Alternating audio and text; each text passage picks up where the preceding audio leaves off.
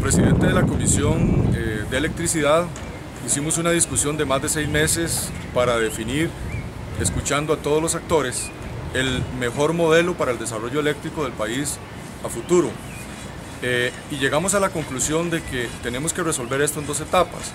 En los próximos días empezaremos a discutir un plan de contingencia eléctrica que resolverá la situación hasta el 2018 y después de un mes o más seguiremos la discusión del 2018 para arriba para definir un modelo más perdurable. En el caso de la Comisión de Medio Ambiente, que también presido,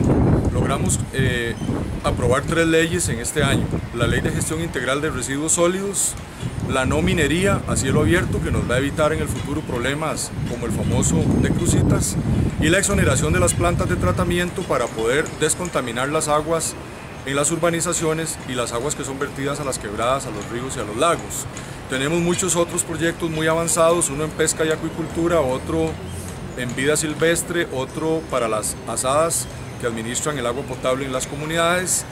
y algunos otros importantes como el de gestión integrada de recursos hídricos para pagarle a Costa Rica una deuda que tenemos desde 1942.